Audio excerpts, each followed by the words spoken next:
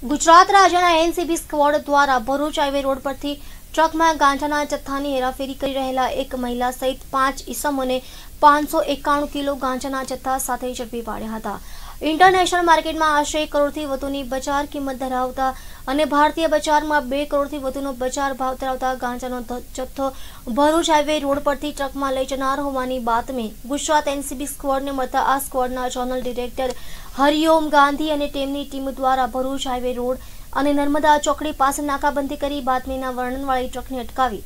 તેમાંથી પાંચસો એકાણું કિલો ગાંજાના જથ્થા સાથે એક મહિલા સહિત ચાર વ્યક્તિઓની ધરપકડ કરી કરોડો રૂપિયાનો મુદ્દામાલ કબજે કર્યો હતો.